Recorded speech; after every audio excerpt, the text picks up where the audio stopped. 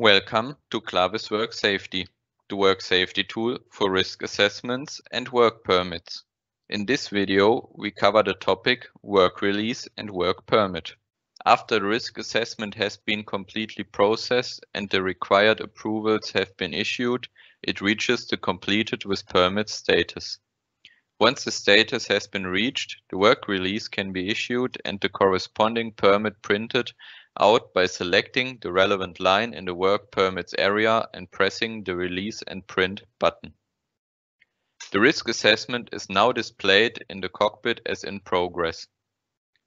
The work permit is based on a standard layout from experience, which can be individually adapted to the customer's wishes.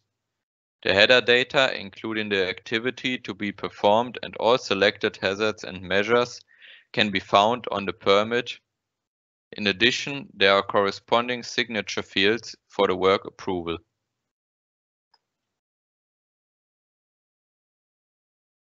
Thank you for your attention.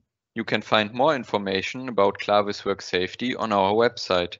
Via the displayed QR code, you will be redirected.